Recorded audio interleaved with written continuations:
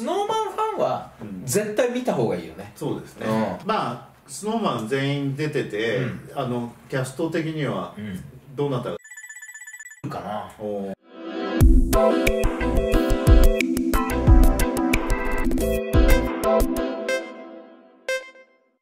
シネマサロン映画業界ヒットの裏側。皆さんこんにちは。こんにちは。シネマサロンです、えー本日はおそ松さんについて語ってまいりたいと思います、えー、スノーマン主演のおそ松さんいかがでしたでしょうか、うーんなかなか一言で言うのは難しいですよね。僕はねやっぱあんまり面白くはなかったな、うん。けど、えー、とこういう地平で映画「おそ松さん」をやろうとしたことは、やっぱりすごいなとは思いました、ううん。あのおそ松さんってまあ我々おそ松くんの世代じゃないですか。なんでまた我々一緒にするの？え違うの？僕ちゃんとアニメ「おそ松さん」夜中見たよ。おそ松くんは見てた？おそ松くんはもちろん見てるよ。シェイやってましたか？シェイ。シェイやったかな。俺やっぱ残ってますよ写真が。シェイやってるシェイやってる写真。うん。うん。小学校の頃。大ブレイクした。だからおそ松くんで育って、うん。おそ松さんも話題になってるのはもちろんでもなんか僕やっぱ夜中のアニメ見てあんまり面白くなくてすぐみんなやめちゃったわ。あ見てたんですね。あの幻の第1話を見たんですか？第1話だったかどうかは覚えてないけど。あー幻の第1話はうん。DVD にも収録されてないんですよ。あと漫画も読んだよ。漫画も読んだうんおそ松さん。へえで幻の第1話はちょっとパロディやりすぎちゃって、はいはいはいはい。権利的にも問題がありそうで。あそうなんだ。あいやわかんない。だからなぜ収録しなかったかわかんないけどあー。確実に問題があるのは間違いないちょっと何か引っかかって、はい。しあのあれあのはい。商品化できないんだよだからその自粛されたのか正式にクレームが入ったのかはちょっとわからないんですけど、皆さんがあの放映されたものを録画し自分でね、うん。個人で録画されたものしか多分現存してないはずなんですよ。だからそのメタで再構築っていうのはなんか非常によく頑張ったんじゃないかと思うけどね、はいはい。でも必ずしもそれは全員が全員面白く感じるかどうかはちょっと別で、うん。まあ小演劇的にも見えるし、うん。脱構築がね、うんうん。再構築が、はだからその辺はちょっとやっぱ難しい映画ではあるよね。まあでもスノーマンファンはうん。絶対見た方がいいよね、そうですね、これはあの各なんだろうそれぞれのあのスノーマンという一体じゃなくて、うん。それぞれ独自固有な魅力はを結構やっぱ送り手はちゃんとこい、分かってるよね、うん。う解析してうん。配役してると思うし、あの配役した上でキャラクター造形してるので、これはスノーマンファンにはもう相当よね面白い映画になってんじゃないかと思うんだよね、じゃあネタバレもありで。まあネタバレといってもねおすまさんのあのアニメの世界をそのままって最初なんかちょっと言い訳のセリフがすごい多かったですね、うんまあでもあれはそのメタを作るにあたってのうんやっぱり前提としてやらざるを得ないところなんじゃないかと思うんだよみんなが思ってるからね、うん。いやえおそ松さんって六つ子でしょ？えスノーマン全員背も違えば顔も違うじゃんって、あのスノーマン以外の人は相当思ってると思そうう。んででそれをセリフで言ってますからね。全部言ってるから。ね無理でしょこれとか。まあセルフパロディっねつうかね、うん。そセルフれはちょっと。自ギャグ自ギャグですね。説明して言い訳してるんだけどちょっと面白かったね、まあ面白かったね、うんまああのなんか多くの人が嫌がってるのは下ネタが多い、あ下ネタ多かった。だから俺あれはだから大怪獣の後始末の時もそうだけどうん。やっぱり下ネタ多いとみんなすごく嫌がるっていうのはうん。最近の風潮なんだねやっぱりね。うん。AT さん下ネタどうでした？下ネタっていうか下品下ネタだよね。芸人下ネタ。おそ松さんこの映画はなんかそんなに気にならなかった。俺気になったんだよしかも別にそれしなくていいじゃんあれ誰だっけ？おそ松んくんだっけ？うんうんこさせられる。そうあそうです。え向井君にうんこなんかさせないでっていうのも結構多かったそりゃそうだよ、ね、まあなくてもよかったです。うん。あえてあえてのそれをやるみたいな。いやでもさこのアイドルにああいうことをやらせたいっていう、うん。その何？あら脚本家なのかな、あすいません。前回私土屋良一さんのお名前を堀良一というふうに 申し上げて大変申し訳なかったです。土でこっちがなんかね つながって見えたんですねで多分その土屋良一さんの企みなんじゃないかなっていうふうにはちょっと感じました。やっぱりなんか頭でその言い訳というよりも、うんみんなが思ってる前提を一回壊しますよっていうことをやりたかったんだと思うんだよ、なるほどね。だから確かにアイドルのスノーマンがやってるけどそういうつもりで見ないでねっていうので、すごく強い強調として、向井さんにああいうシーンをやらせるっていうことをやりたかったんじゃないかな。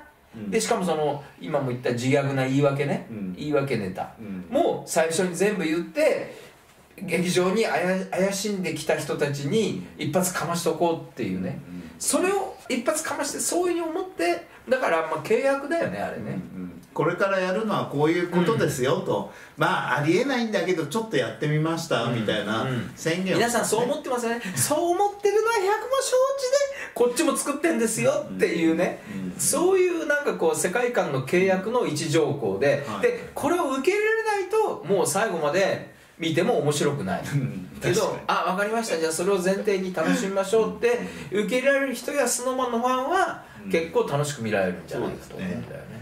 私あの途中で結構あの映画のパロディみたいなのがいっぱい出てくるあいっぱい出てきますね。あれが面白かったですうんね、あまあそのあるあるの映画パターンをね、うん。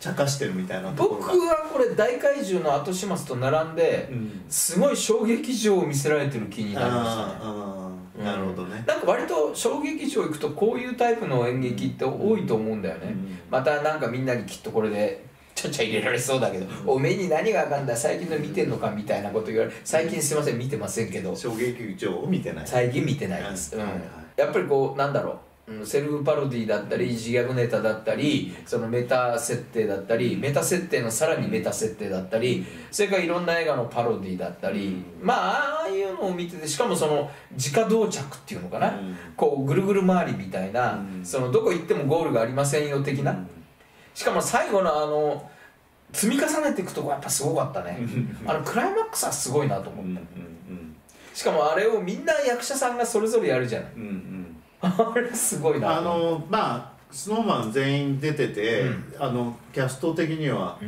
どなたが気になりやました？っぱりラウールかな。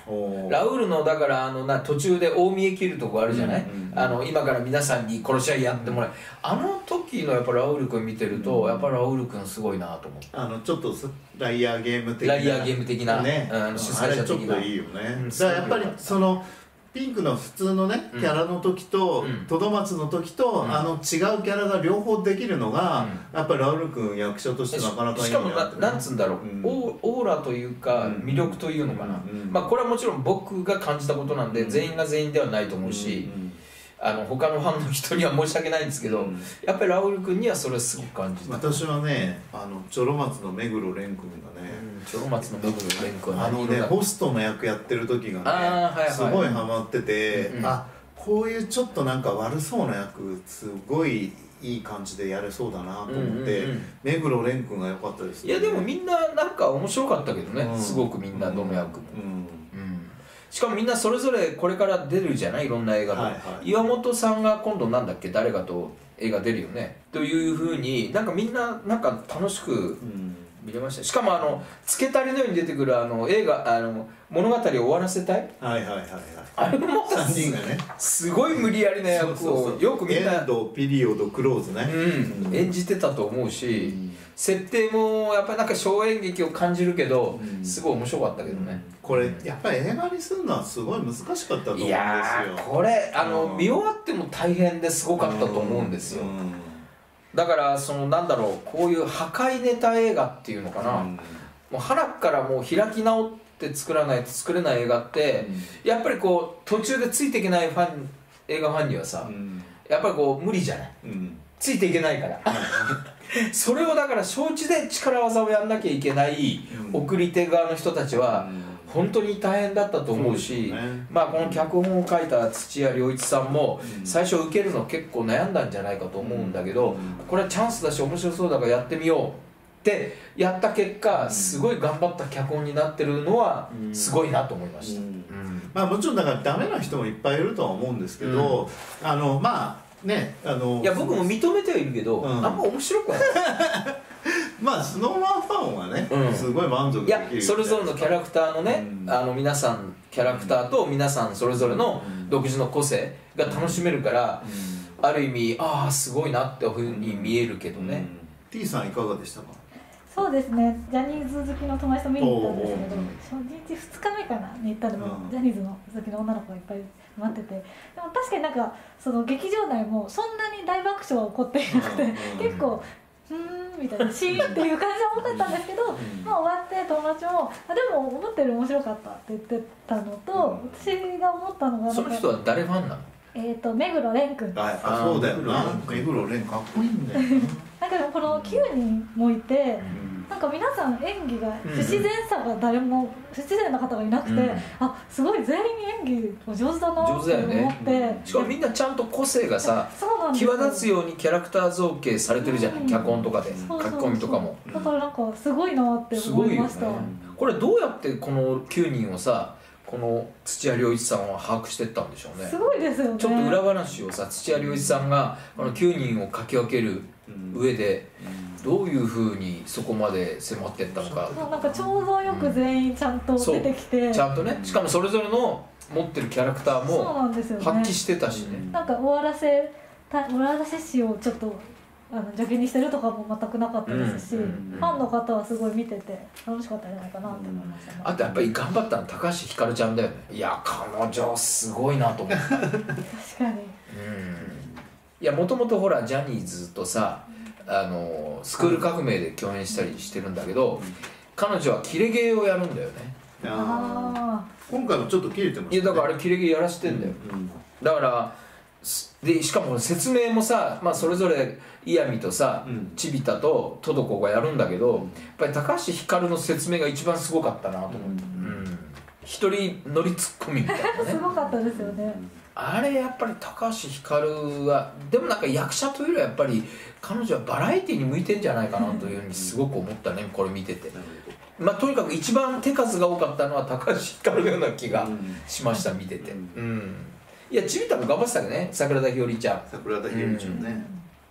ちびたね。あと前川康之さんがよく嫌味引き受けたなと思ってどっちかっていうとイケメン系のはい。まあ嫌味なイケメンはやるけれどだからヴィラン的なイケメンはやるけれど、はい。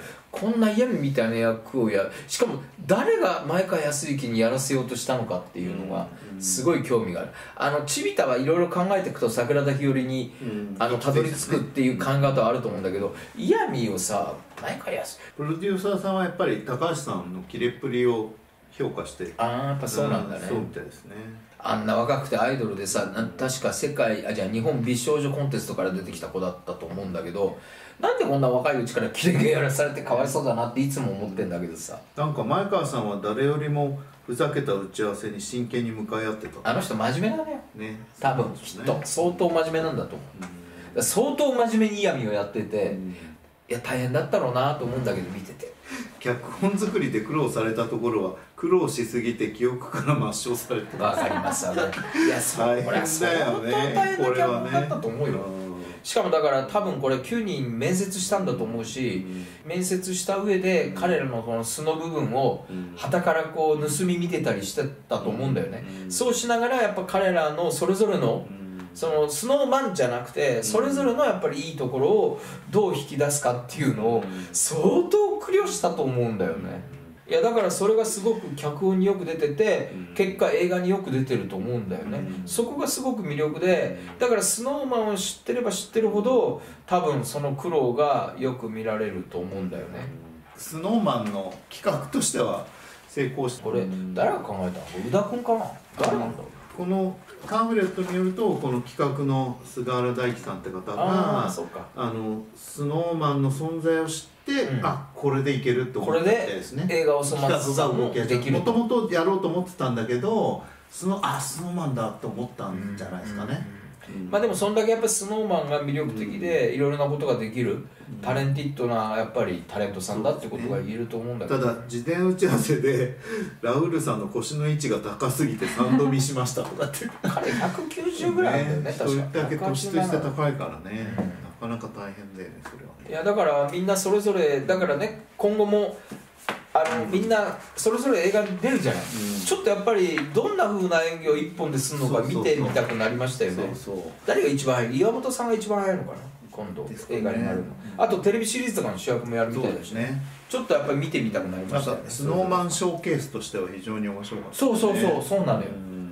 うん。当にそう思いました、うん。ちなみに、えっと興行収入ですが、うん。初登場にでも200スクリーンしかしかっていうかねもっといや200スクリーンしかだと思う。しかですよね、公開してないやっぱりあれじゃない東宝も実験作品うんっていう考え方だったんじゃないの、うん。ただスクリーンアベレージが154万8000円ってことでえそんな高いの？そうそう。ええもういきなり6億4000万円いってますから。てか154万ってすごくない？すこれ。ごいだから200スクリーンでこのアベレージなんで300でやってもいけたんじゃないなんでこれ200スクリーンにしたの？かちょっと聞いてみたいよね。そうですね。これ誰が決めてんのかな今。公表部なの？これ。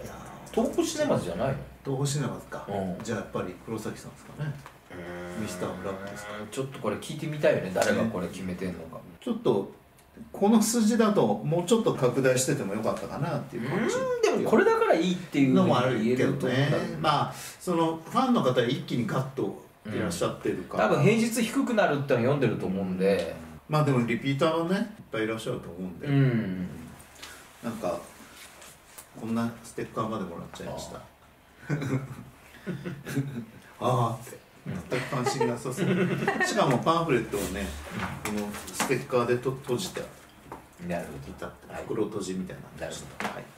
これはおいくらなんですか？820円だ。え安いね。まあまあ安いね、いやいやまあまあじゃない。今の値段としては普通だから、安いね。ファンにとっては安いんじゃない、いやだからあのすごいなんていうの？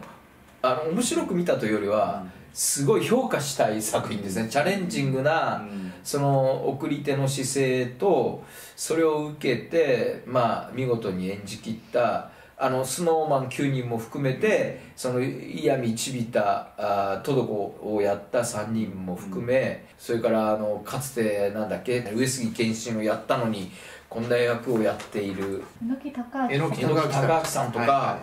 あとみんなやっぱり後から南果歩さん加藤亮君あとなんだっけ彼彼健さん。あのモデルもやってる栗原類君栗原類とか。君ね、みんなやっぱりすごかったね。うん、うん。ちゃんとね。あとなんだっけあの彼女。柳八木里香子さん、はいみんな これ大変だったと思うんだよそのそれぞれのやるのがね。そのポジショニングから言って。だけどみんな栗原類君とか真っ裸になってたしね、言ってたね。うん。確かうん、すごかったな結構。あとなんだっけ奥さん演じたに南果歩さん。南果歩さん、うん。みんなあれ真面目にほらちゃんとやんないとそうだよね。成立しないじゃん、うん。まあ当たり前なんだけど、あだけどみんなすごい一生懸命やっててやっぱ俳優さんってすごいなと思うよね。ーうん。僕はでもエンターテインドはもう一つだったけど。うんまあそれはちょっとねターゲットでも多分ないかなと思いますし、でも、うん。その皆さんがやられてる仕事は素晴らしいと思います。個人的には目黒蓮君がなんか、はい、かりま。役者さんとして良かったなと思いました、うん、今後もだから彼が出るのもね、ね、楽しみにして、うん、いきたいと思います。はい。ということで本日は映画「おすます」さんについて語ってまいりました、はい、よろしければチャンネル登録コメント等いただけると嬉しいです。どうもありがとうございました。